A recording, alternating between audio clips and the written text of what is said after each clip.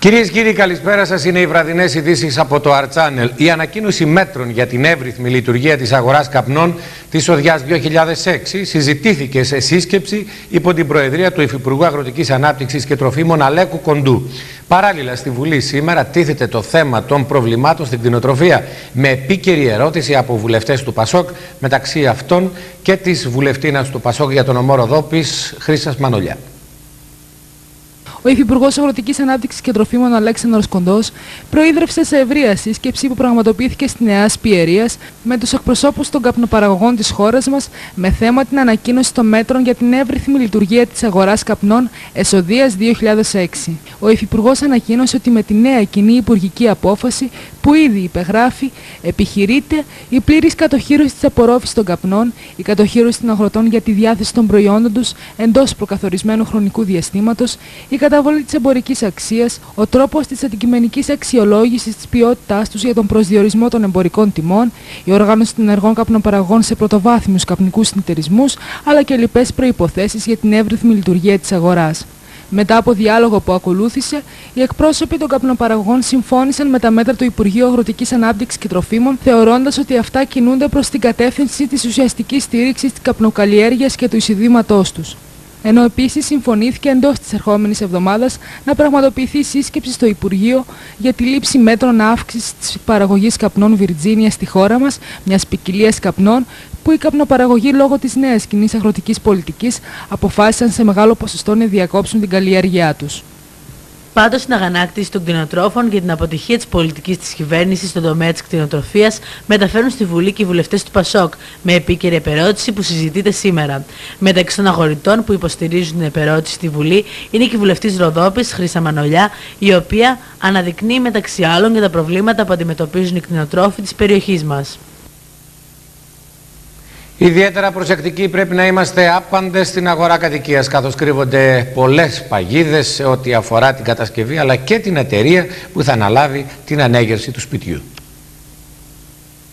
Μια καλή έρευνα αγοράς προκειμένου να βρεθεί η κατάλληλη επιχείρηση απαιτείται από τον πολίτη που ενδιαφέρεται να προβεί σε κατασκευή κατοικίας. Η φερεγγαιότητα της επιχείρησης αλλά και η ιδιότητα του ανθρώπου που έχει αναλάβει την ανέγερση της οικίας είναι λεπτομέρειες που όμως διασφαλίζουν το αποτέλεσμα. Σύμφωνα με τον πολιτικό μηχανικό Μάριο Σοφιανό, σημαντικό επίσης είναι οι πολίτες να επιλέγουν εταιρείες γνωστές, καθώς οι λεγόμενες ανώνυμες εταιρείες, όπως χαρακτηριστικά τονίζει ο κύριος Σοφιανός, κρύβουν και ανώνυμες ευθύνες εργολάβος ο οποίος διαφημίζεται ότι κάνει πολλές οικοδομές, αυτό είναι το βάρος του.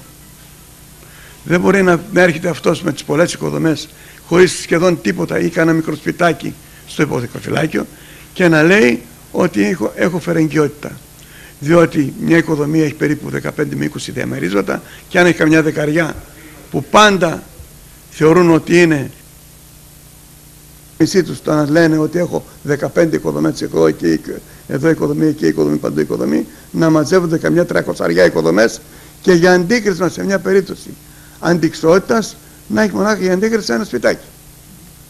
Ο αγοραστής πρέπει να φροντίσει να έχει εξασφαλισμένη να πατάει όπως λέμε ο κολαός σε γερή σανίδα έτσι ώστε και αν πάνε στραβά τα πράγματα και δεν μπορεί να βρει να πουλήσει τα διαμερίσματα που αναλαμβάνει να μπορεί να βρει αντίστοιχα περιουσιακά στοιχεία τέτοια που να το εξασφαλίσουν το διαμέρισματάκι του. Προσεκτικοί πρέπει να είμαστε ωστόσο και στην επιλογή του στεγαστικού δανείου, αφού τα επιτόκια αλλά και οι συνθήκες που ισχύουν διαφέρουν από τράπεζα σε τράπεζα. Παγίδες κρύβει για όσους δεν γνωρίζουν η λήψη στεγαστικού δανείου, αφού παρότι τα επιτόκια είναι χαμηλότερα σε σχέση με άλλα δάνεια στην Ελλάδα, στις περισσότερες περιπτώσεις υπάρχουν επιπλέον έξοδα που επιβαρύνουν τον δανειολήπτη. Παράλληλα, σημαντικό είναι οι καταναλωτές να επιλέγουν στεγαστικό δάνειο σύμφωνα με τις ιδιαίτερες ανάγκες τους, κάνοντας πρώτα μια έρευνα σε διαφορετικές τράπεζες. Ο, ο πελάτης πρέπει να έχει πάντα υπόψη του ότι στις περισσότερες των περιπτώσεων δεν πληρώνει μόνο το επιτόκιο που συμφωνεί με το τραπεζικό ίδρυμα της αρισχία του, αλλά πιθανά να πληρώσει κάποια χρήματα για κάποιες προμήθειες ή για κάποιες ειδικές εργασίες όπως είναι οι υποθήκες κλπ. Οπότε όταν θα ψάξει το τραπεζικό ίδρυμα που τον εξυπηρετεί περισσότερο για τις ανάγκες του, θα πρέπει να λάβει υπόψη του και αυτό τον παράγοντα. Όχι μόνο το επιτόκιο, αλλά και όλα τα υπόλοιπα ενδεχομένως έξοδα που υπάρχουν κατά τη σύναψη του, ή και κατά την αποπληρωμή του δανείου.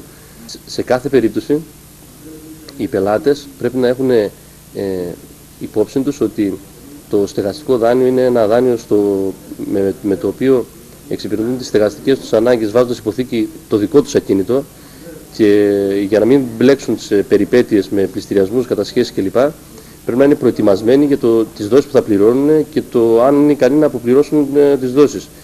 Γι' αυτό πρέπει να είναι πάρα πολύ καλά ε, ενημερωμένοι για το ποιο θα είναι το ύψος των δόσεων, τη διάρκεια του δανείου και για το κατά πόσο θα καταφέρουν τελικά να αποπληρώσουν με επιτυχία το, το δάνειο. Γιατί αλλιώς θα μπουν σε διαδικασίες ρυθμίσεων ε, ή ε, ε, ενδεχομένως πια αν έχουν αδυναμία πληρωμής και κατασχέσεων πληστηριασμών κλπ. που είναι κάτι ιδιαίτερα επώδυνο η συμβουλή που δίνει ο, ο τραπεζικός υπάλληλος στον πελάτη του, γιατί ο τραπεζικός υπάλληλος έχει και το ρόλο του συμβούλου, του τραπεζικού συμβούλου στην σύγχρονη τραπεζική, είναι καταρχήν να, να προσδιορίσει με ακρίβεια τις ανάγκες του, γιατί αν δεν ξέρει με ακρίβεια τις ανάγκες του είναι αδύνατο να προσδιορίσει και το τι ακριβώς προϊόν τραπεζικό θα τον βολεύει καλύτερα.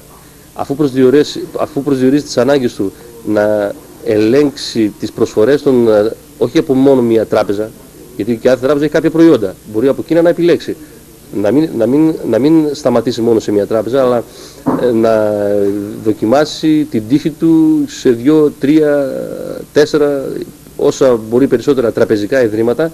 Βέβαια δεν είναι και τόσο εύκολο αυτό γιατί χρειάζονται και κάποιες εξειδικευμένες γνώσεις. Εν πάση περιπτώσει, με τη βοήθεια του τραπεζικού υπαλλήλου μπορεί να καθορίσει ε, τι ακριβώς του προσφέρει κάθε τράπεζα και να επιλέξει εκείνο το τραπεζικό προϊόν, εκείνο το δάνειο δηλαδή, εκείνο το στεγαστικό στην περίπτωση μας, για την περίπτωση για την οποία μιλάμε, ε, εκείνο το στεγαστικό δάνειο που τον συμφέρει περισσότερο για τη συγκεκριμένη ανάγκη. Ω ιδιαίτερα σημαντική κρίνεται η επιλογή ενός επαγγελματία συμβολιογράφου από, την εκάστοτε, από τον εκάστοτε αγοραστή, ώστε να διεκπαιρεωθούν σωστά τα ζητήματα τα οποία προκύπτουν σε κάθε αγορά κινήτου.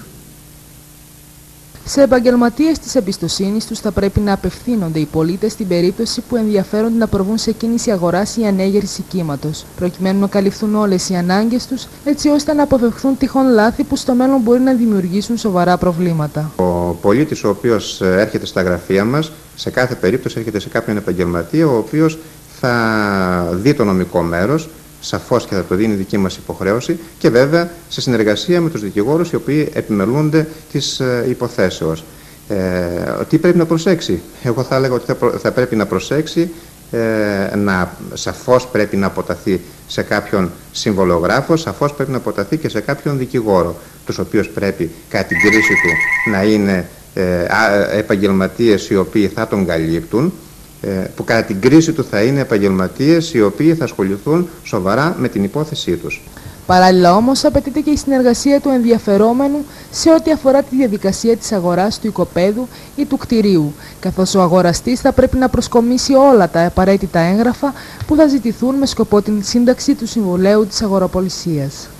Καταρχάς θα το ρωτήσουμε αν, από την, αν έχει τις προϋποθέσεις για να απαλλαγεί από τον ε, φόρο λόγω πρώτης κατοικίας. Εάν λοιπόν έχει τις προϋποθέσεις αυτές που ε, σχεδόν λίγο πολύ είναι γνωστές είναι να μην έχει ε, ούτε αυτός ούτε η σύζυγος ούτε προστατευόμενο μέλη της οικογένειας του ε, σπίτι που να καλύπτει τις εργαστικές του ανάγκες κάτι τις διαφοροποιήσεις που υπάρχουν ανάλογα με την οικογενειακή του κατάσταση ε, και του λέμε να μας φέρει ε, τα δικαιολογητικά τα οποία απαιτούνται που είναι η ταυτότητά του, είναι πιστοποιητικό οικογενειακής κατάστασης, τα ε1 και ε9 ε, από το 1997 έως σήμερα όσα έχει υποβάλει και από εκεί και πέρα ε, ετοιμάζουμε εμείς ε, τα έγγραφα τα οποία θα προσκομιστούν στην εφορία για να με τη δήλωση φόρμα μεταβίβασης κλπ. Απαλλάσσεται εφόσον απαλλάσσεται, πληρώνει το φόρο εφόσον υπάρχει φόρος και μας φέρνει πίσω την δήλωση με τα υπόλοιπα. Εμείς κάνουμε και την υπόλοιπη διαδικασία που είναι η άδεια παραμεθορίων, περιοχών, η έκδοση του πιστοποιητικού ότι δεν τέλος εκείνης της περιουσίας, ενδεχόμενα κάποια άλλα πιστοποιητικά ε, που αφορούν τον τίτλο κτήσεω, εφόσον πρόκειται ε, για τίτλο κτήσεω ε, χαριστική πράξη ή κληρονομιά, χρειαζόμαστε πιστοποιητικό ότι δηλώθηκαν ε, στην εφορία και δεν οφείλονται φόροι. Και πάμε στην απαλλαγή φόρων τώρα, αφού από διάφορους παράγοντες όπως ο αριθμός των παιδιών εξαρτάται η απαλλαγή του φόρου που δικαιούνται οι πολίτες για την αγορά της πρώτης κατοικίας. Πνοή ανακούφισης είναι για τους περισσότερους η απαλλαγή φόρου για την αγορά πρώτης κατοικίας. Ωστόσο, υπάρχουν όρια που ισχύουν σε κάθε περίπτωση, ανάλογα με συγκεκριμένες προποθέσει που πληρούνται από τους δανειολήπτες. Για έναν ελεύθερο μέχρι 65.000 ευρώ, για έγγαμο 100.000 ευρώ, προς αυξανόμενο 20.000 ευρώ για κάθε παιδί, δηλαδή κάποιος ε, έγγαμος με ένα παιδί 120.000, έγγαμος με δύο παιδιά 140.000 και για το τρίτο παιδί πάει στις 170.000. Ε, η απαλλαγή για αγορά πρώτης κατοικίας ε, έχει προβλεφθεί και στον ε, καινούριο νόμο που αφορά επιβολή ΦΠΑ στα ακίνητα, άρα δηλαδή με την κατάργηση του φόρου μεταβίβασης των ακινήτων ε, και την επιβολή του ΦΠΑ πλέον, πάλι όσοι έχουν αγορά πρώτης κατοικίας δεν θα πληρώνουν το φόρο προστιθέμενης αξίας, το λεγόμενο το ΦΠΑ. Ενώ σε όλες τις άλλες περιπτώσεις, όταν αφορά καινούρια αγορά κατοικίας, θα καταβάλλεται το φόρος προστιθέμενης αξίας. Ε, εκτός από τη δέσμευση των ε, αξιών, αυτά που είπαμε 70, 100, 120, 140 και 170 χιλιάδες, υπάρχει και η δέσμευση σε ό,τι αφορά τα τετραγωνικά. Δηλαδή, ναι μεν αντικειμενική αξία ή αξία αγοροπολισίας 70.000 παραδείγματος χάρη, αλλά παίζουν ρόλο και τα τετραγωνικά. Δηλαδή, ε, ένας ε, ελεύθερος ή έγαμος μπορεί η απαλλαγή αυτή να είναι μέχρι 70 τετραγωνικά και μετά προσαξάνεται κατά 20 τετραγωνικά για κάθε παιδί το οποίο έχει. Δηλαδή, απαλλαγή έχουμε 70 τετραγωνικά για έγαμο χωρίς παιδιά, 90 όταν έχει για ένα παιδί, 120.000 όταν έχει δύο παιδιά και 140 τετραγωνικά όταν έχει τρία παιδιά. Αυτές είναι οι απαλλαγές ε, και ισχύουν πάντα για την αγορά πρώτης κατοικίας. Με μια δέσμευση ότι το σπίτι αυτό θα το κρατήσει για πέντε χρόνια. Αν δηλαδή κάποιος αγοράσει με απαλλαγή πρώτη κατοικία, την οποία όμως για κάποιους δικούς του λόγους την πουλήσει σε κάποιον άλλον, τότε ο αγοραστής θα είναι υποχρεωμένος να καταβάλει το φόρο τον οποίο δεν έχει καταβάλει ο πρώτος αγοραστής, δηλαδή ο δικαιούχος της απαλλαγής ε, πρώτης κατοικίας. Πάντως οι περισσότεροι κομμωτινέοι επιλέγουν να αγοράσουν σπίτι αντί να το νοικιάσουν. Υποστηρίζουν μάλιστα ότι είναι μια επένδυση για το μέλλον, ενώ παράλληλα επισημαίνουν ότι αυτό προϋποθέτει και ένα σταθερό σίγουρα εισόδημα. Την αγορά ενός σπιτιού ως πιο συμφέρουσα επιλογή από το ενίκιο φαίνεται πως θεωρούν στην πλειοψηφία τους οι Κομοντινέοι, υποστηρίζοντας ότι με τα σημερινά δεδομένα οι διευκολύνσεις που παρέχουν οι τράπεζες είναι μεγάλες, ενώ από την άλλη τονίζουν ότι η μίσθωση είναι λεφτά του αέρα χωρίς ουσιαστικό αντίκρισμα. Αντίθετα, υπάρχουν και εκείνοι που πιστεύουν ότι το μέλλον είναι αβέβαιο, οπότε και ο δανεισμός από την τράπεζα για την αγορά πρώτης κατοικίας είναι μια κίνηση που κρύβει παγίδες. Αν το βλέπετε μακροπρόθεσμα, να αγοράσει αν είναι για μικρό χρονικό διάστημα η παραμονή σε αυτό το σπίτι, να μισθώσει. Εσείς τι, εσείς τι προτιμάτε Εγώ θα προτιμούσα να αγοράσω για να το αφήσω, γιατί από ό,τι βλέπω η αξία των ακινήτων συνεχώς ανεβαίνει και άρα είναι κερδισμένος κάποιος που μπορεί να αγοράσει. Αν δεν μπορεί, μακροπρόθεσμα είναι χαμένος όποιος δεν αγοράσει. Φέρει κανείς να πάρει ένα δάνειο στεγαστικό προκειμένου να χτίσει ένα σπίτι που θα το μείνει κιόλας; Αν βρει συμφέρουσες τιμές, ναι. Οι σημερινές τιμές λέτε... Εγώ πιστεύω ότι είναι ανεβασμένες.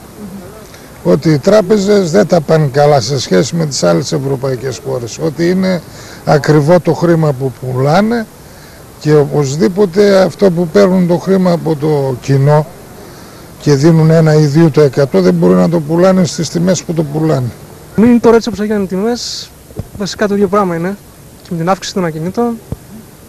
Άρα βασικά μου συμφέρει και με τα δάνεια που αυξήθηκαν ε, να νοικιάζει περισσότερο. Εσείς προσωπικά τι προτιμάτε; Ε, βασικά. Μπορείτε να κάνετε. Τι μπορούμε να κάνουμε, να νοικιάσουμε προς το παρόν. Θεωρείτε ότι συμφέρει κάποιον να αγοράσει σπίτι ή να το νοικιάσει με, τη, με τα σημερινά δεδομένα; Ούτε συζήτηση. να αγοράσει σπίτι, να πάρει δάνεια και να αγοράσει.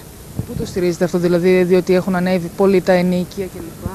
Τα ενίκια έχουν πέσει εδώ στην Κομωτινή. Αυτή την εποχή, τουλάχιστον τα τελευταία δύο χρόνια, έχουν πέσει. Εσείς προσωπικά τι προτιμάτε. Εγώ προσωπικά θα αγόραζα. Θα παίρνει ένα δάνειο και θα αγόραζα σπίτι. Ακόμα και αν ε, δεσμευόσασταν για τα επόμενα. Σίγουρα, σίγουρα, γιατί θα είναι μια επένδυση και για τα παιδιά μου αργότερα. Έτσι, έτσι το σκέφτομαι για την ηλικία που έχω. Όταν πληρώνεις άλλο δάνειο, ούτε αυτό το ενίκιο, κάτι να πα έχω σπίτι να έχεις. ουσία πληρώνεις ενίκιο. Ε, ναι, ναι, και με, με το δικό σου σπίτι. Με το σπίτι δικό σου, ναι. Σύμφωνα με τα τελευταία δεδομένα τον νοικιάζει.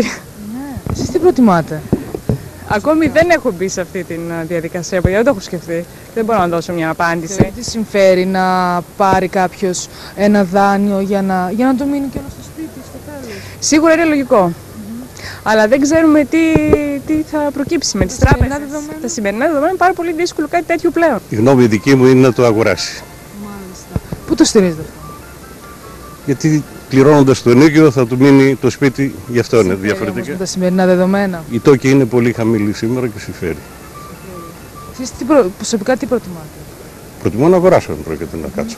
Αυτό μας προϋποθέτει και μια σταθερή δουλειά, έτσι δεν είναι; Σίγουρα. Εάν δεν έχεις δουλειά, δεν σε δίνουν και λεφτά. Κάπου πρέπει να έρχονται τα λεφτά που θα πληρώνετε το σπίτι. Όπως και το ενίκιο. Πρέπει να έχεις λεφτά διαφορετικά. Τουλάχιστον 200 μέτρα θα πρέπει να απέχουν τα μπαρ και οι καφετέριες από τα σχολεία. Πρόκειται για μια πρόσφατη απόφαση του Υπουργείου Παιδείας. Ας δούμε ωστόσο πώς σχολιάζουν οι πολίτες της Κομωτινής αυτή την απόφαση του Υπουργείου. Τουλάχιστον 200 μέτρα πρέπει να είναι η απόσταση καταστημάτων υγειονομικού ενδιαφέροντος όπως μπαρ, καφετέριες, μπιλιάρδα από σχολικά κτίρια σύμφωνα με απόφαση της Υπουργού Παιδείας Μαριέτας Γιαννάκου. Όπως αναφέρει η απόφαση, ο προτινόμενος χώρος επιβάλλεται να βρίσκεται σε απόσταση 500 μέτρων από χώρους ή λειτουργίες που αποτελούν αιστείες χορύπανσης, ατμοσφαιρικής ρήπανσης, επικίνδυνης ηλεκτρομαγνητικής ακτινοβολίας, πυρκαγιάς, εκρήξεων και λοιπόν μολύνσεων ώστε να αποτρέπονται οι ενδεχόμενοι κίνδυνοι που απορρέουν από τη γυπνίαση. Ω θετικό μέτρο χαρακτηρίζουν την απόφαση της Υπουργού οι Κομωτινέοι, ωστόσο υπάρχουν και εκείνοι που εκφράζουν αντίθετη άποψη. Είναι πολύ καλό. Να είναι λίγο απομακρυσμένοι. Πολύ καλό νομίζω. Είναι μην γίνει καμιά φασαρία. Να σας πω, δεν ε, κατέχω το θέμα, βέβαια τώρα το ακούω. Ε, πιστεύω ότι αν λάβουν μια τέτοια απόφαση το Υπουργείο θα είναι και σωστή. Βέβαια. Ε, Βεβαίως και πρέπει να αντέχουν. Για λόγους κυρίως χορύπανσης γίνεται. Εσείς τι γνώμη έχετε; Για πολλούς λόγους. Για διάφορους λόγους. Ε, τα παιδιά όταν είναι μέσα σε ε, το σχολείο σε, δίπλα στα μπαράκια κτλ. Ε, αυτό παρασύρονται τα παιδιά. Όσο, όταν είναι πιο μακριά να πούμε ή κάπως πιο διαφορετικά να πούμε. Είναι προσιλωμένα τα παιδιά να πούμε, δεν έχουν να τους παρασύρει κάτι ας πούμε και κοντά. Σωστά. Και την ένταση πιο χαμηλή. Στο να είναι μακριά από τα σχολεία, τα πάρκια αυτά. Δεν είναι. Συμφωνείτε. Συμφωνώ βέβαια. Δεν είναι σωστή απόφαση. Όχι, πιστεύω ότι η νεολαία πρέπει να πηγαίνεις στα μπαρ, να εξοικειωθεί με την όλη κατάσταση και γενικά να έχει τη δική της άποψη. Είμαι αυτής της γνώμης δηλαδή. Άρα λοιπόν δεν... Δεν, δεν, το, δεν θεωρώ ότι είναι κάτι κακό. Για να υπάρχει και τέτοιο μέτρο, δηλαδή η συγκεκριμένη απόσταση. Σε περίπτωση όμως ε, ηχορύπανσης, ναι, αυτό είναι κάποιο πρόβλημα. Ίσως πρέπει να πάρθουν κάποια μέτρα για την ηχορύπανση, αλλά πιστεύω ότι η νεολαία πρέπει να είναι κοντά, δηλαδή να γνωρίζει, να ξέρει πράγματα, να βγει έξω, να μάθει. Μεγάλο ενδιαφέρον παρουσιάζει για πολλούς η διαδικασία παρασκευής τσίπουρου αφού όπως φαίνεται το ελληνικό παραδοσιακό ποτό συνεχίζει να αποτελεί μια σταθερή αξία για όλους τους Έλληνες.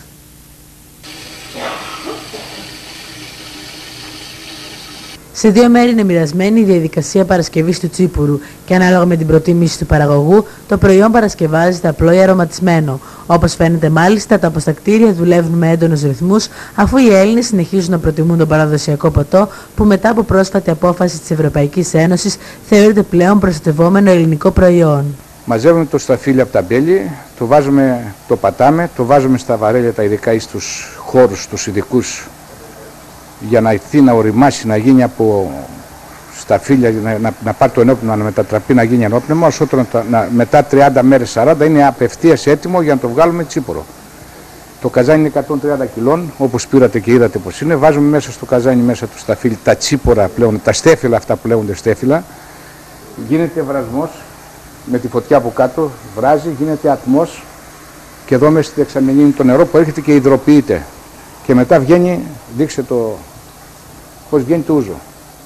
Από ατμός υδροποιείται και βγαίνει, αυτό λέγεται η σούμα, η πρώτη δόση. Όταν βγάλουμε την πρώτη δόση που λέγεται σούμα, πλένουμε τα καζάνια και το ξαναρίχνουμε μέσα για να βγάλουμε τη δεύτερη που είναι το που ξεκινάει από 28, 30, 32. Το οποίο μετά με το νερό το κατεβάζουμε στους βαθμούς που θέλουμε. Το βάζουμε μέσα και βάζουμε ανάλογα τι θέλει ο καθένας. Πολλοί το προτιμάνε σκέτο, δεν βάζουμε τίποτα, μόνο λίγο αλάτι. Αν θέλουν με γλυκάνσο, βάζουμε γλυκάνσο, κρυθάρι, μαστίχα, κάρβουνο λιγάκι και δόνια και παίρνει κάποιο άρωμα. Όσο είναι δύο ειδών οι ποικιλίες που βγάζουμε. Το σκέτο και με γλυκάνσο. Ο κόσμος συνεχίζει και πίνει το τσίπουρο όπως παλιότερα. Το πίνει περισσότερο και όσο πάει παίρνουν περισσότερα αμπέλια. Κάθε χρόνο και τα αμπέλια πολλαπλασιάζονται, περισσεύουν. Αν είχαμε πέρυσι 5 στρέμματα, φέτος έχουμε 15 στρέμματα παράδειγμα. Περισσότερα, κάθε χρόνο και περισσότερα. Η νεολαία έχει πέσει πλέον περισσότερο στα αμπέλια, γίνονται μεγάλες επιχειρήσεις όπως και ο κύριος που βγάζει τώρα έχει. Εσείς πίνετε τσίπουρο; Βεβαίως. Υπάρχει πιο αγνό πράγμα. Πιο αγνό από το τσίπουρο δεν υπάρχει. Ούτε τα ουίσι, ούτε οι βότκες, ούτε τίποτα. Η μόνο η απόσταξη που είναι καθαρή, διότι είναι καθαρή πράγματι. Δεν έχει νοθεία μηδέν. Μικρή διακοπή θα κάνουμε για λίγες διαφημίσεις.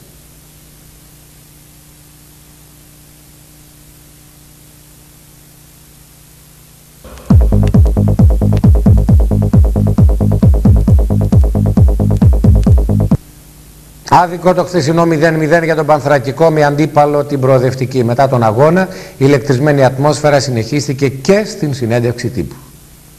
Τερματοφύλακα του Παναθρακικού Στέφανος Καρκάνης δεν έκανε μια απέκτηση σε όλο το παιχνίδι. Είσαστε ευχαριστημένοι από το αμυντικό ποδόσφαιρο που έχει η ομάδα σας; Να είμαι ευχαριστημένος από τι; Από την απόδοση, από το αμυντικό ποδόσφαιρο, από, το, από την όλη εμφάνιση της ομάδας. Είσαστε ευχαριστημένος από την ομάδα της Στράκης; Στράκης, ποια Στράκη; Του Πανθρακικού εδώ. Του Πανθρακικού. Ο Πανθρακικός έγραψε εγώ 8 ευκαιρίε.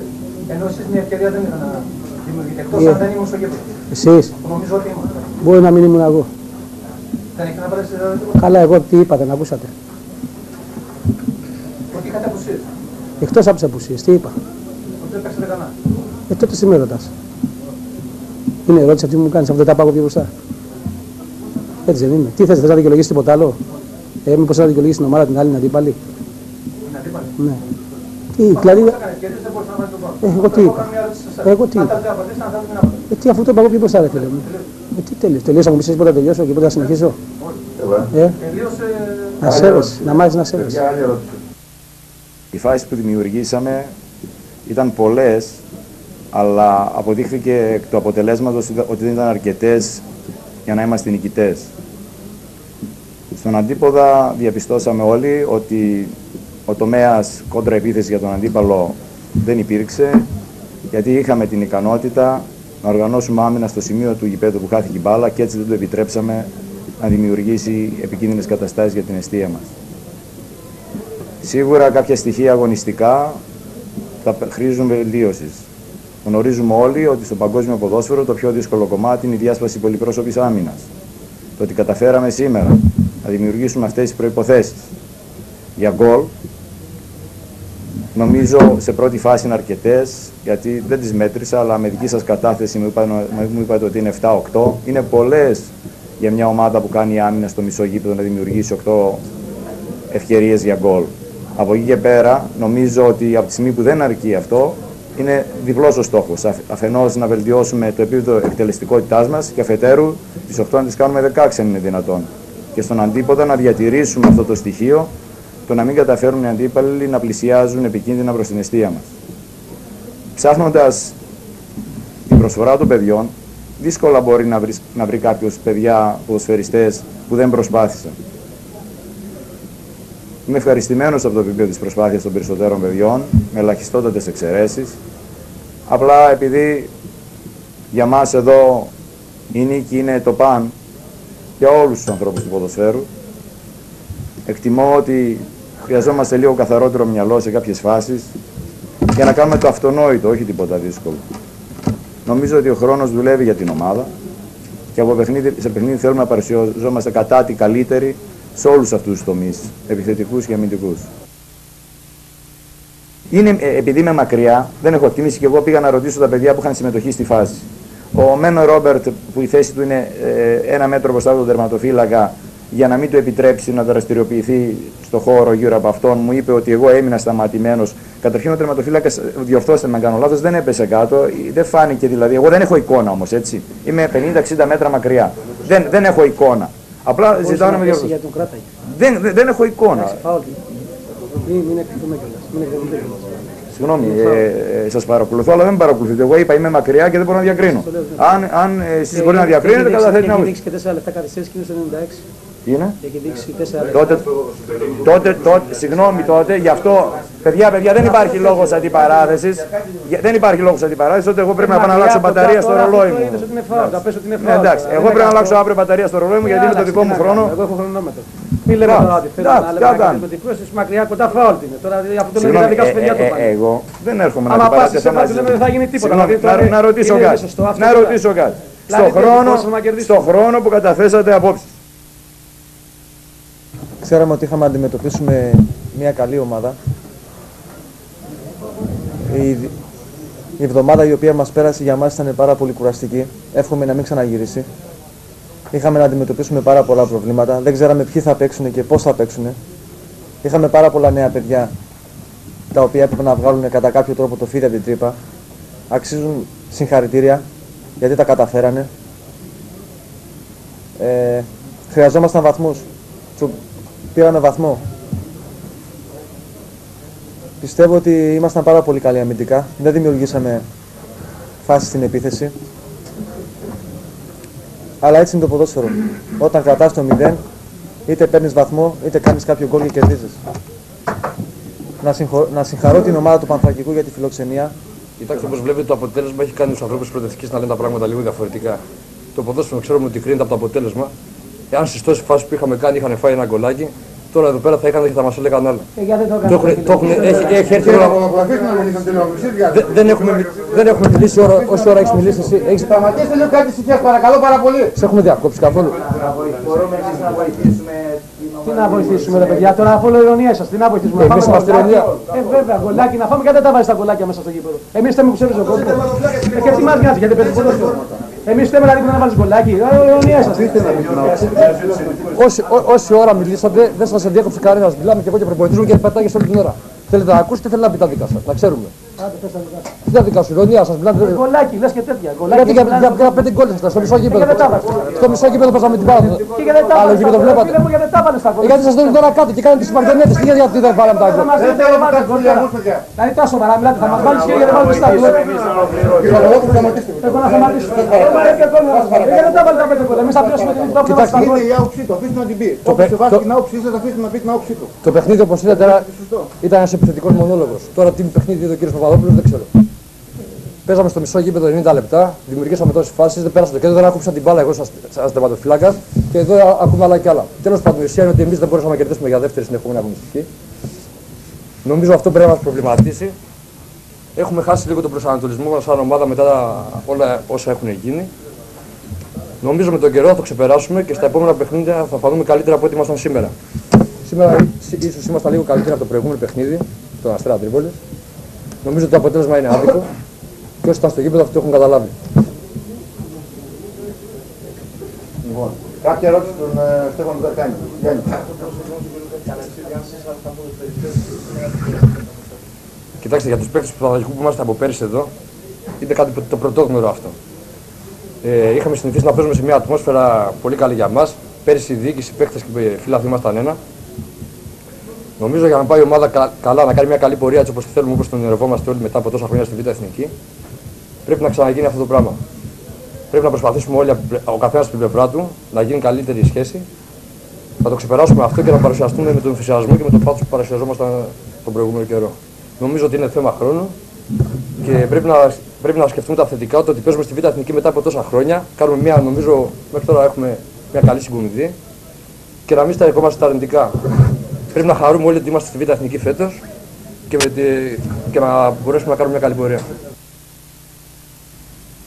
Κυρίες και κύριοι, αυτές ήταν οι βραδινές ειδήσεις από το Art Channel. Ευχές από εμάς για ένα όμορφο βράδυ. Καλή σας νύχτα.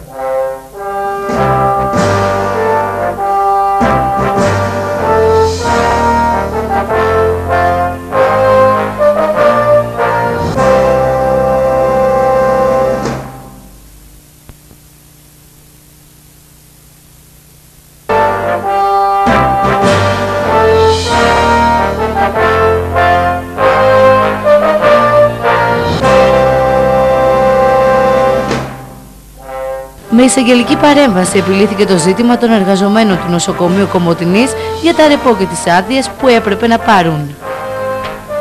Τρεις λαθρομετανάστες και ο διακινητής τους συνελήφθησαν από άντρε του τμήματο συνοριακής φύλαξης Σαπών, ενώ από το τμήμα συνοριακής φύλαξης του Ιάσμου συνελήφθησαν 25 λαθρομετανάστες και ο διακινητής τους.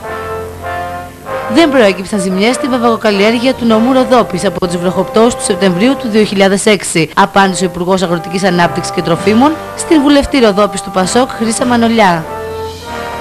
Παράνομη κρίνεται η έκδοση πιστοτικών καρτών χωρίς την αίτηση του πελάτη, σύμφωνα με απόφαση του Εφετείου Αθηνών.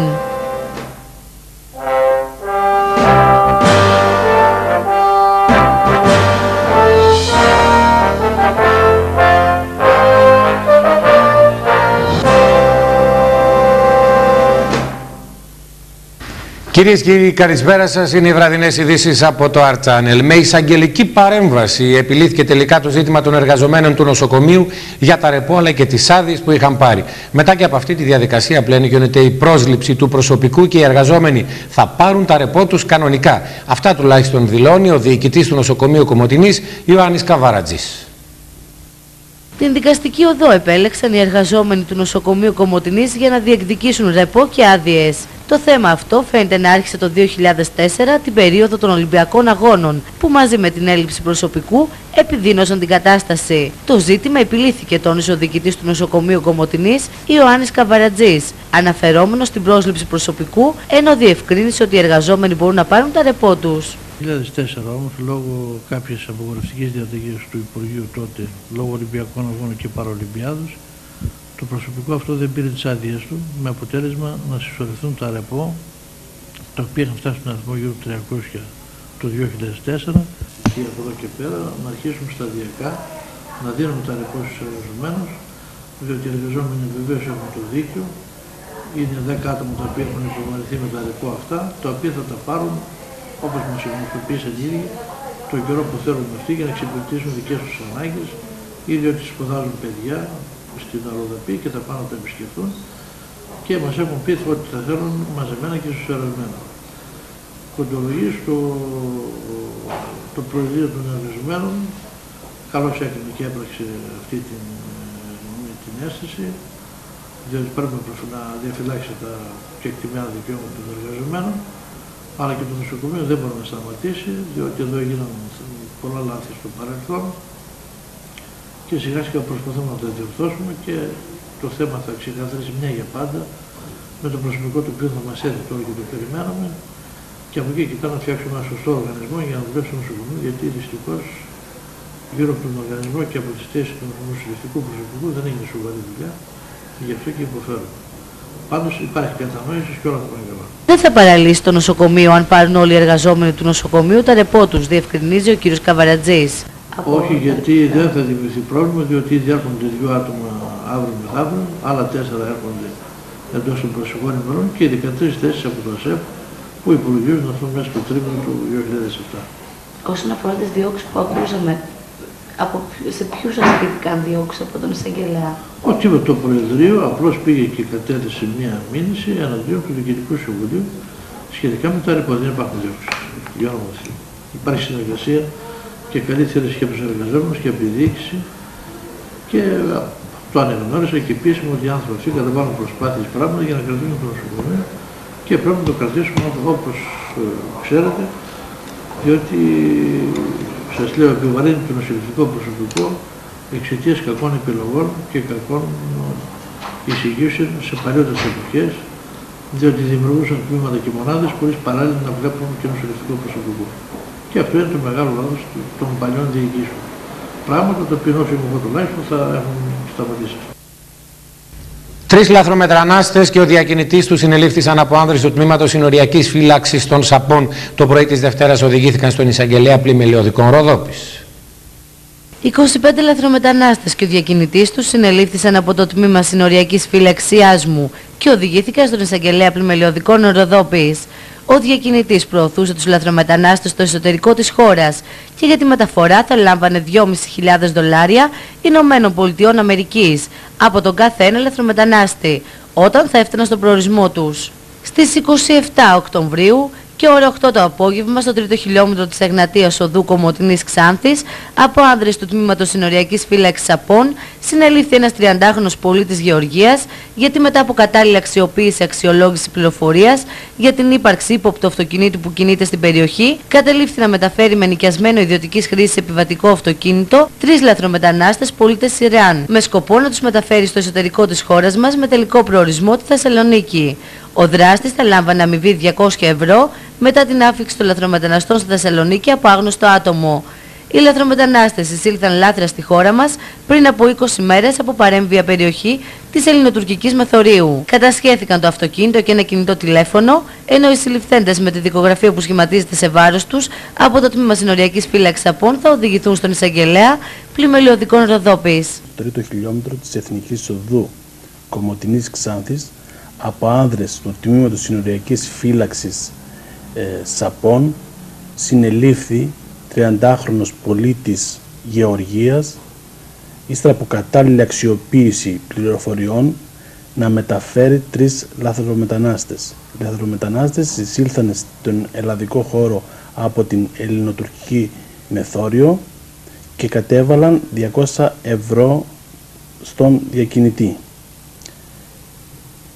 Συνελήφθη ο δράστης, ε, κατασχέθηκε το ΙΟΤΑΧΗ επιβατικό αυτοκίνητο το οποίο είχε νοικιασμένο και ένα κινητό και θα αποσταλεί στον κύριο Εισαγγελέα Πλημμυδικών Ροδόπης. Δεν προέκυψαν ζημιές στη βαμβακοκαλλιέργεια του νομού Ροδόπης από τις βροχοπτώσεις του Σεπτέμβρη 2006, απάντησε ο Υπουργός Αγροτικής Ανάπτυξης και Τροφίμων σε περώτηση της βουλευτή Ροδόπης Χρήσας Μανολιά δεν προέκυψαν ζημιές στην βαβακοκαλλιέργεια του νόμου Ροδόπης από τις βροχοπτώσεις του Σεπτεμβρίου του 2006. Απάντησε ο Υπουργός Αγροτικής Ανάπτυξης και Τροφίμων, Ευάγγελος Μπασιάκο, στη σχετική επερώτηση της βουλευτή Ροδόπης Χρύσας Μανολιά. Ο Υπουργός ισχυρίζεται ότι σύμφωνα με στοιχεία του ΕΛΓΑ δεν σημειώθηκαν ζημιές στην βαβοκαλλιέργεια του νομού Ροδόπης από τις βροχοπτώσεις του Σεπτεμβρίου. Η απάντηση αυτή αποτελεί εμπεγμό για τους βαβακοπαραγωγούς που άλλη μια φορά διαπιστώνουν ότι το Υπουργείο Αγροτικής Ανάπτυξης και Τροφίμων φαίνεται να κλείνει τα μάτια στα προβλήματα των αγροτών και να διαφορεί για τη στήριξη του εισοδήματός τους, τονίζει η κυρία Μανολιά. Το έγγραφο του Προέδρου του Οργανισμού Ελληνικών Γεωργικών Ασφαλής σε απάντηση της ερώτησης της κυρίας Μανολιάς της απέστειλε ο Υπουργός Αγροτικής Ανάπτυξης και Τροφίμων. Το έγγραφο αυτό αναφέρει ότι σχετικά με τα θέματα αρμοδιότητας του Οργανισμού Ελληνικών Γεωργικών Ασφαλίσεων γνωστοποιούν τα εξής για τις καλυπτόμενες από τον Ελγά ζημιές που προξενήθηκαν από τις βροχοπτώσεις Σεπτεμβρίου 2006 σε βαμβακοκαλλιέργειες του νομού Ροδόπης διενεργήθηκαν από το υποκατάστημα Ελγά Αλεξανδρουπόλεως οι απαραίτητες επισημάνσεις χωρίς ωστόσο να διαπιστωθούν ζημιές σε αποζημιώσιμα ποσοστά. Ο ΕΛΓΑ παρακολουθεί την εξέλιξη των ζημιών αυτών και εφόσον προκύψουν μεγαλύτερες ζημιές θα προβεί άμεσα στη διενέργεια εξατομικευμένων εκτιμήσεων και στην καταβολή αποζημιώσεων στους παραγωγούς. Παράνομη κρίνεται η έκδοση πιστοτικών καρτών χωρίς την αίτηση του πελάτη σύμφωνα με απόφαση του Εφετείου Αθηνών.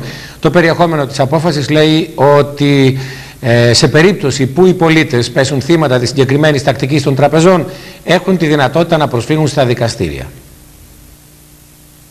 Φρένος στην παράνομη έκδοση πιστοτικών καρτών έβαλε με απόφαση του το Εφετείο Αθηνών. Συγκεκριμένα το δικαστήριο επεσήμανε ότι η τακτική ορισμένων τραπεζών να στέλνουν ταχυδρομικά ενεργοποιημένες κάρτες σε ιδιώτες χωρίς να έχει προηγηθεί σχετική αίτηση από τους τελευταίους δεν είναι σύνομη αφού γίνεται χωρίς η τράπεζα να έχει τέτοιο δικαίωμα. Ενώ με αυτόν τον τρόπο η τράπεζα αποκτά οικονομικά ωφέλη εις βάρος των πολιτών οι οποίοι αγνοούν τους λόγους για τους οποίους γίνονται δέκτες αυτής της τακτικής. Ε, έβαλε φρένος στην τακτική των τραπεζών να στέλνουν ε, κατόπιν ε, με, ταχυδρομικό, με μέσω ταχυδρομείου μία ενεργοποιημένη κάρτα, πιστοτική κάρτα σε κάποιο οποιοδήποτε πολίτη, δηλαδή ούτε καν πελάτη τους. Αυτό σημαίνει ότι ε, στέλνουν ένα προϊόν έτοιμο προς χρήση σε οποιοδήποτε ανυποψίαστο άτομο ε, άνθρωπο, πολίτη, ε, ο οποίος το κοιτάει νομίζοντας ότι ε, μπορεί κάλλιστα να πάει να το χρησιμοποιήσει και δεν θα έχει σημαντικές ή όποιες επιπτώσεις. Ε, όμως αυτό το εφετείο έκρινε ότι είναι παράνομο, ότι δεν μπορούν οι τράπεζες να εκμεταλλεύονται σε εισαγωγικά αυτή την τακτική, χρησιμοποιώντας αυτή την τακτική να εκμεταλλεύουν οικονομικά τους πολίτες, ε, με συνέπεια να ουσιαστικά εδώ βλάπτεται το δικαίωμα της προσωπικότητας του κάθε πολίτη, ο οποίος νομίζοντας ότι αυτό ε, το προϊόν που του παρέχει η τράπεζα μπορεί να το χρησιμοποιήσει χωρίς να έχει σημαντικές οικονομικές επιπτώσεις και ε, εν πάση περιπτώσει όμως επιβαρύνεται σημαντικά και πρωτίστως βεβαίως επιβαρύνεται διότι δεν, ε, δεν το ζήτησε αυτός. Το, το έστειλε έτοιμο η τράπεζα και μάλιστα με ενεργοποιημένο τον κωδικό, δηλαδή έτοιμο προς χρήση. Σύμφωνα με την απόφαση του εφετείου, οι πολίτες έχουν δικαίωμα δικαστικών διεκδικήσεων και αντίστοιχα τα πιστοτικά ιδρύματα που προχώρησαν σε τέτοιου είδους πρακτικές είναι υποχρεωμένα να καταβάλουν σχετική αποζημίωση. Ο πολίτης έχει δικαίωμα σε ανάλογες περιπτώσεις να ζητάει όχι μόνο όποια άλλη αποζημίωση, αλλά και ειδική αποζημίωση για το σκοπό αυτό της παράνομης ε, εκμετάλλευσης Φήμες ήθελαν το ξαθιώτικο καρναβάλι να μείνει στον αέρα, καθώς λήγει στις 31 Δεκάτου του 2006 η θητεία της Προέδρου και του Αντιπροέδρου της Δημοτικής Επιχείρησης Ανάπτυξης Ξάνθης. Απαντήσεις σε όλες αυτές τις φήμες δίνει ο Δήμαρχος Ξάνθης, κ. Τηλιανίδης. Η λήξη της θητείας της Προέδρου της Δημοτικής Επιχείρησης Ανάπτυξης Ξάνθης, κυρίας Τζόλα, και του Αντιπροέδρου κυρίου Τσέπελη δεν επηρεάζει την οργάνωση του Ξανθιώτικου Καρναβαλιού, τόνισε ο Δήμαρχος Ξάνθης, Λάκης Τηλιανίδης, που επισήμανε ότι η θητεία της Προέδρου λήγει στις 31 Δεκάτου του 2006, ωστόσο η προετοιμασία άρχισε από το καλοκαίρι και συμμετέχουν φορείς, σύλλογοι και όλο το Διοικητικό Συμβούλιο της Δημοτικής Επιχείρησης, απαντώντας σε φήμες που λέγανε ότι το καρναβάλι μένει στον αέρα. Το καρναβάλι καταρχάς είναι ένας θεσμός ε, ακρόνητος.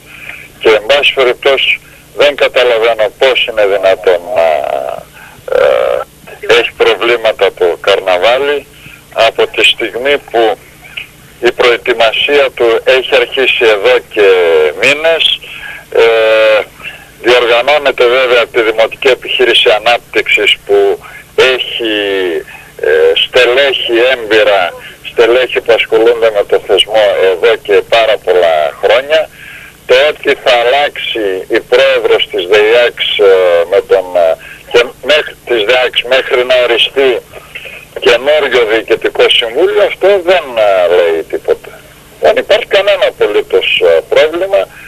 Άλλωστε καρδιά του Ξανθιώτικου Καρναβαλιού είναι η λαογραφική και καρναβαλική μας σύλλογη οι οποίοι βέβαια δεν επηρεάζονται από αυτήν την αλλαγή και αλλήμωνο αν είχαν επηρεαστεί αφού κάθε τέσσερα χρόνια ε, ο πρόεδρος ή η πρόεδρος της ΔΕΙΑΚ πιθανότατα αλλάζει. Δεν είναι πρώτη φορά που γίνεται αλλαγή και πριν τέσσερα χρόνια έγινε αλλαγή και βέβαια δεν υπήρξε κανένα απολύτως ε, πρόβλημα. Θεωρούμε ότι η αλλαγή της Προέδρου γιατί είναι γυναίκα σήμερα και επειδή θα αλλάξει διότι δεν επανεξελέγει σαν Δημοτική Σύμβουλος θα δημιουργήσει προβλήματα. Η θητεία του σημερινού Διοικητικού Συμβουλίου λύγει στις 31 Δεκάτου θα εξακολουθήσει όμως να λειτουργεί ε, μέχρι να γίνει η τοποθέτηση νέου Διοικητικού Συμβουλίου από το Δημοτικό νέο Διοικητικό Συμβούλιο από το Δημοτικό Συμβούλιο, κάτι που θα γίνει βέβαια ε, μετά τις 15 Ιανουαρίου να σας πω. Και βέβαια ουσιαστικά το καρναβάλι θα το διοργανώσει το παλιό Διοικητικό Συμβούλιο αφού το καινούριο θα το βρει έτοιμο. Γιατί το καρναβάλι δεν ετοιμάζεται σε 15 μέρες, ούτε σε ένα μήνα, ούτε σε 3 μήνες, ούτε σε 5 μήνες. Ξεκινάει από το, από το καλοκαίρι το καρναβάλι.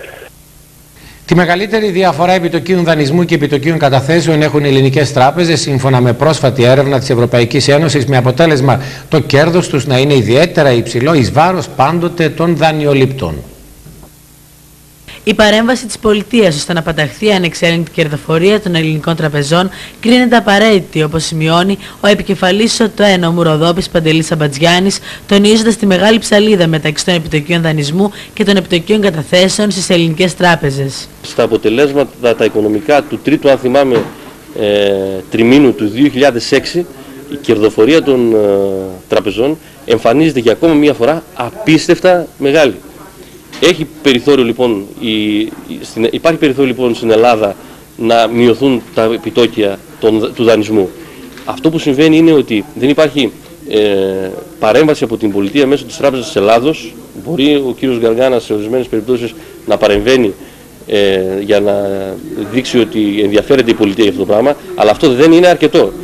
Δεν μπορεί δηλαδή κατά τη γνώμη του συνδικαλιστικού κινήματος να υπάρχει αυτό το, αυτό το, αυτά τα παράδειγμα υψηλά επιτόκια, είτε πρόκειται για κάρτες, είτε πρόκειται για τα καταναλωτικά δάνεια, αλλά είτε πρόκειται για οποιοδήποτε άλλο είδους δάνεια. Χαρακτηριστικά μου ανέφεραν πριν από λίγο ότι ενώ το επιτόκιο στα στεγαστικά δάνεια που πίστευα εγώ και εγώ προσωπικά ότι είναι αρκετά χαμηλό στην Ελλάδα, ε, είναι κατά μέσο όρο περίπου γύρω στο 4,9 εδώ, περίπου, στα στεγαστικά δάνεια, στην Ευρώπη, έτσι μου είπανε, είναι γύρω στο 3,8.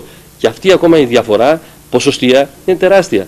Αυτό σημαίνει ότι ε, οι τράπεζες φροντίζουν πάρα πολύ την ε, κερδοφορία τους, την υπέρμετρα μεγάλη κερδοφορία τους, δεν ανταγωνίζονται όμως η μία την άλλη όπως θα περίμενε κανένας από τις ε, διαδοχικές ιδιωτικοποιήσεις που έχουν γίνει.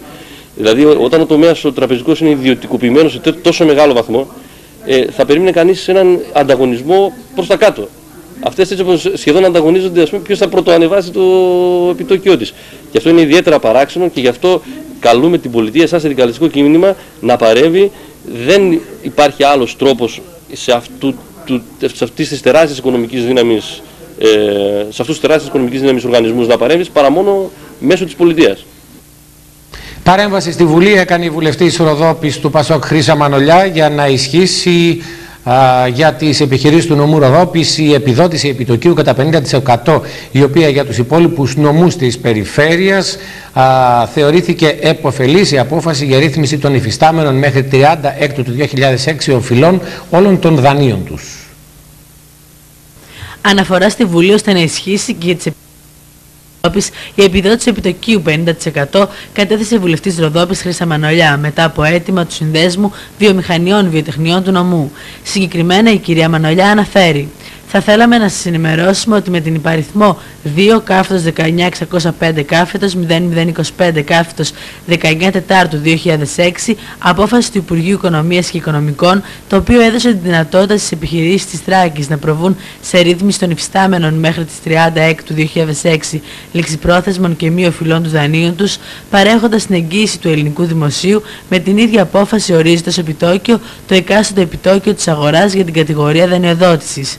Πιστεύουμε για να είναι υποφελή παραπάνω απόφαση ότι θα πρέπει να συμπληρωθεί με την παροχή της επιδότησης του επιτοκίου κατά 50% κάτι που ισχύει για τους υπόλοιπους νομούς της περιφέρειας Ανατολικής Μακεδονίας και Θράκης εκτός του νομού μας, του νομού Ροδόπης. Και ερωτώμεθα γιατί αυτός ο αποκλεισμός του νομού από την παροχή επιδότησης επιτοκίου κατά 50% που σε μια περίοδο κρίσιμη για τις επιχειρήσεις του νομού μας η συμπλήρωση της παραπάνω απόφασης θα δώσει μια ουσιαστικά σαφέστατη ανάσα σε αυτές. Ευελπιστούμε στη συμπαράστασή σας στο δίκαιο αυτό έτοιμά μας. Κλείνει η βουλευτής Ροδόπης, κυρία Μανολιά. 50 χρόνια συμπληρώθηκαν από τη σύσταση της Ένωσης Εκδοτών Επαρχιακού Τύπου. Η τιμητική εκδήλωση πραγματοποιήθηκε στην Καλαμάτα, όπου συμμετείχε από την Κομωτινή και ο εκδότης και διευθυντής της εφημερίδας Χρόνος, κ. Φαμφάνη. 50 χρόνια συμπληρώθηκαν από την ίδρυση της Ένωσης Ημερήσεων Επαρχιακών Εφημερίδων και γιορτάστηκε πανηγυρικά στην Καλαμάτα, όπου και εκδόθηκε το 1821 η πρώτη εφημερίδα πανελλήνια, η Σάλπινγκς Ελληνική. Για τη γιορτή που παραβρέθηκε και ο ίδιος, μιλά ο εκδότης της εφημερίδας Χρόνος, Αλέξανδρος Φαμφάνης. Μίλησαν, θα σας πω, ποιοι μίλησαν για την, για, για την εφημερίδα αυτή. Της, ε, ονομάζεται Σάλπινγκς η Ελληνική. Είναι η πρώτη ελληνική εφημερίδα μίλησε ο ιστορικός Βασίλης Καρδάσης. Είναι καθηγητής του Πανεπιστημίου Κρήτης. Η, η Εκατερίνη Κουμαριανού, καθηγήτρια του Πανεπιστημίου της Ορβόνης. Ο κύριος Απόστολος Παπαϊωάννου, καθηγητής του Πανεπιστημίου Ιωαννίνων, ο οποίος γνώριζε και πολλούς καθηγητές δικούς μας εδώ του Πανεπιστημίου Κράγης. Και ο Νίκος Βαρδιάμπασης, δημοσιογράφος ελευθεροτυπίας. Ήταν γλαφυρότατοι στο λόγο τους, ήταν πάρα πολύ κατατοπιστικοί και ευχάριστοι στο άκουσμά τους. Στη συνέχεια ξαναγηθήκαμε στο, την επομένη, δηλαδή το βράδυ έγινε μια δεξίωση εκεί κάπου δίπλα στο χώρο ε, και στη συνέχεια την επομένη πήγαμε στα, στους αρχαιολογικούς χώρους Μεσσηνίας. Ήταν μια ξεχωριστή ημέρα, πραγματικά η Μεσσίνη ήταν το κάτι άλλο.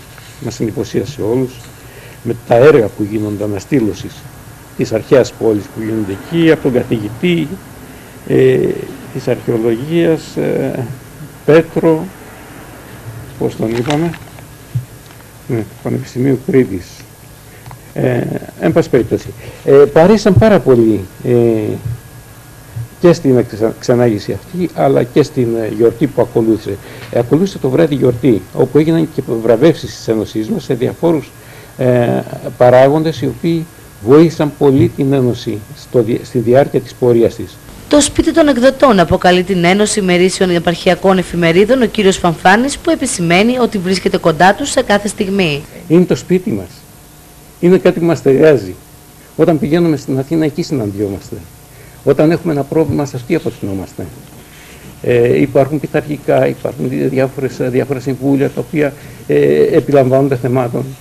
Να, όπως προχθές που είπαμε στην, ε, στο κανάλι σας διάφορα θέματα που υπάρχουν εδώ με τα σχετικά με τις δημοσίες και λοιπά, πώς τα παίρνουν οι υπουργοί, πώς τα στέλνουν στις ιδιαίτερες περιοχές κλπ. Όλα αυτά τα παίρνει, τα λαμβάνουν υπόψη της η Ένωση και κάνει διάφορες ενέργειες. Συνάντηση εργασίας με θέμα εκπαίδευση και επιμόρφωση εκπαιδευτών ενηλίκων πρόκειται να πραγματοποιηθεί την Πέμπτη στο Εμπορικό και Βιομηχανικό Επιμελητήριο Ροδόπης. Η εκδήλωση οργανώνεται από, την, από το Υπουργείο Παιδείας αλλά και την Γενική Γραμματεία Εκπαίδευσης Ενηλίκων. Στο πλαίσιο μιας προσπάθειας που υλοποιείται υπό την αιγίδα της Γενικής Γραμματείας Εκπαίδευσης Ενηλίκων και έχει ως στόχο την ενοποίηση όλων των δομών της διαβίου εκπαίδευσης σε επίπεδο συντονισμού δράσεων και επιμόρφωσης όλων των εμπλεκόμενων φορέων, πρόκειται να συναντηθούν οι εκπρόσωποι όλων των αυτόνομων προγραμμάτων της Περιφέρειας Ανατολικής Μακεδονίας και Θράκης. ξεκίνησε από την περιφέρεια Ανατολικής Μακεδονίας και Θράκης και στη συνέχεια επεκτάθηκε και στις άλλες περιφέρειες της χώρας, των οποίων ως περιφέρεια αυτή τη στιγμή έχουμε την ευθύνη του συντονισμού. Ε, συμμετέχουν ε, όλοι οι φορείς της διαδίου εκπαίδευσης στην περιφέρεια Ανατολικής Μακεδονίας και Θράκης, που σημαίνει σχολεία δεύτερης ευκαιρίας, ε, κέντρα εκπαίδευσης ενηλίκων, σχολές γονέων, ε, ΝΕΛΕ και όλα γενικά τα αυτόνομα προγράμματα, το ήρων δηλαδή, ε, που αφορά τη χρήση των ηλεκτρονικών υπολογιστών, το πρόγραμμα Ισίωδος που αφορά την εκπαίδευση των, ε, των αγροτών και όλα γενικά τα αυτόνομα προγράμματα της διαδίου εκπαίδευσης στην Ανατολική Μακεδονία και Θράκη. Οι υπεύθυνοι των προγραμμάτων, οι σύμβουλοι των προγραμμάτων, οι εκπαιδευτές και οι εκπαιδευτικοί. Η συνάντηση εργασίας περιλαμβάνει δύο ενότητες. Στη μεν πρώτη θα συζητηθούν θέματα όπως η εκπαίδευση και η επιμόρφωση εκπαιδευτών ενηλίκων, τεχνικές και περιβάλλοντα εξ αποστάσεως επιμόρφωσης, καθώς επίσης και η αναγκαιότητα της επιμόρφωσης των εκπαιδευτικών εκπαιδευτών στην εκπαίδευση ενηλίκων. Ενώ στο δεύτερο μέρος, τρεις ομάδες εργασίες θα αναλύσουν και θα υποβάλουν τις θέσεις και τις προτάσεις τους σχετικά με τις εισηγήσεις. Μικρή διακοπή θα κάνουμε για λίγες διαφημίσεις.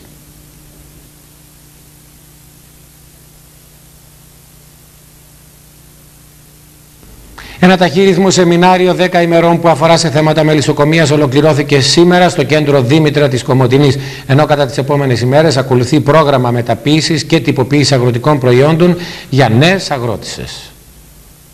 Ιδιαίτερο ενδιαφέρον φαίνεται πως έχουν για τον αγροτικό κόσμο της περιοχής τα σεμινάρια που υλοποιούνται από το κέντρο Δήμητρα Κομωτινής. Το πρόγραμμα που αφορά στη μελισσοκομεία ολοκληρώθηκε σήμερα, ενώ ακολουθούν άλλα πέντε προγράμματα εντός του 2006. Η Ελλάδα έχει από τα καλύτερα μέλ- μέλια στον κόσμο. Έχουμε αυτή τη στιγμή περίπου 23.000 παραγωγούς μελισσοκόμους, εκ των οποίων οι 5.000 είναι κατά κύριο επάγγελμα αγρότες. Η ετήσια παραγωγή μελιού είναι περίπου στις 14.000 τόνους ετησίως και είναι μετά σε παραγωγή μετά από την Γερμανία, τη Γαλλία και την Ισπανία. Το σύνολο των κυψηλών στη χώρα είναι περίπου 1,5 εκατομμύριο. Ήθελα να τονίσω ότι ε, το μέλι για την χώρα μας μπορεί να γίνει αυτό που λέμε το μαύρο χαβιάρι. Δηλαδή έχουμε μεγάλη προοπτική, έχουμε όπως έχουμε τονίσει το καλύτερο μέλι, είναι απόλυτα υγιεινό και ασφαλές και επομένως ε, είναι ένα ε, προϊόν το οποίο μπορεί να τύχουμε ε, μεγάλων εξαγωγών γιατί ήδη τώρα καλύπτουμε τις ε, ανάγκες μας σαν χώρα. Έχουμε τη μεγαλύτερη κατανάλωση μελιού κατά άτομο, είμαστε 1,5 κιλό μέλι κατά άτομο στον κόσμο. Έχουμε τη μεγαλύτερη κατανάλωση. Σήμερα ήταν εδώ 25 συνάδελφοι μελισσοκόμοι. Έχουμε στο νομό μας γύρω στους 300 θα έλεγα μελισσοκόμους και αυτοί έχουν ανάγκη να παρακολουθήσουν μαθήματα. Ο συνεταιρισμός έχει στο νου του ακόμη και σε περιοχές όπως ε, Σάπες, Αριανά και σε άλλα χωριά ακόμη να κάνει ταχύρυθμα μελισσοκομικά προγράμματα οπότε να μπορέσουν οι μελισσοκόμοι της περιοχής μας να διευρύνουν τις γνώσεις τους στη μελισσοτροφία αλλά και στην ποιότητα μελιού που είναι πολύ σημαντικό σήμερα για τη χώρα μας να παράγει αυτό το προϊόν όσο το δυνατόν γίνεται σε αρέστη ποιότητα. Η πρώτη εκδήλωση της σειράς μορφωτικών συναντήσεων 2006-2007 του Μορφωτικού Ομίλου Κομωτινής πραγματοποιήθηκε χθες με θέμα άσκηση και υγεία, η συμβολή των πολιτών της Κομωτινής στην έρευνα του Πανεπιστημίου. Τα αποτελέσματα της πολίτους έρευνας του Δημοκρατίου Πανεπιστημίου Θράκης σχετικά με την άσκηση και τη συμβολή της στην καλή υγεία, καθώς και συμβολή των πολιτών της Κομωτινής στη συγκεκριμένη έρευνα, παρουσιάστηκαν εχθές στην πρώτη εκδήλωση των Μορφωτικών Συναντήσεων 2006-2007 του ΜΟΚ. Ο μιλητής ήταν ο διπρίτανη του Πανεπιστημίου, Σάβα Τοκμακίδη, ο οποίος τόνισε μεταξύ άλλων τη σημασία της συνεργασίας των πολιτών με το Ακαδημαϊκό Ίδρυμα. Η σημερινή εισήγηση έχει να κάνει με την έρευνα που πραγματοποιήσαμε εμείς εδώ και μια δεκαετία περίπου μέσα από αυτά τα προγράμματα και την οποία έρευνα την έχουμε παρουσιάσει ήδη σε πολλές πόλεις και στο εξωτερικό και στην Ελλάδα και σε περιβάλλον που μπορώ να πω ίσως ε, πολύ εξειδικευμένο. Σήμερα μας δίνεται η ευκαιρία να το παρουσιάζουμε στους ανθρώπους οι οποίοι συνεισφέρανε με το δικό τους τρόπο, υπήρξαν άτομα τα οποία συμμετείχαν και μας δώσανε τα αποτελέσματα και τα δεδομένα τους. Μέσα από τους παράγοντες που έχουμε μετρήσει, όπως είναι οι παράγοντες κινδύνου, η χολυστερίνη για παράδειγμα, έχουμε μία πτώση στη χολυστερίνη, κάτι το οποίο είναι επιθυμητό για όλους. Έχουμε μία αγκιοπροστασία, κάτι το οποίο είναι επίσης επιθυμητό για όλους. Έχουμε καλύτερη ανταπόκριση και καλύτερη φυσική κατάσταση, δυναμώνει ο πληθυσμός θα μπορούσα να πω ότι γίνεται πιο παραγωγικός. Η σημερινή εκδήλωση είναι ένας τρόπος που να δείξει τις γέφυρες που έχουμε ως πανεπιστήμιο με την κοινωνία στην οποία ζει και δρά το πανεπιστήμιο. Το πανεπιστήμιο θεωρείται μοχλός ανάπτυξης. Αλλά η ανάπτυξη του Πανεπιστημίου δεν μπορεί να είναι μονομερή. Η ανάπτυξη του Πανεπιστημίου πρέπει να έχει αντιστήριγμα. Ο μοχλός λοιπόν θέλει το υπομόχλιό του. Ο κόσμος, ο πληθυσμός, οι φορείς αποτελούν αυτό εδώ που εμείς ζητούμε και μέσα από αυτό αναπτυσσόμαστε μαζί. Κυρίες και κύριοι, αυτές ήταν οι βραδινές ειδήσεις από το Art Channel. Ευχέ από εμάς για ένα όμορφο βράδυ. Καλή σας νύχτα.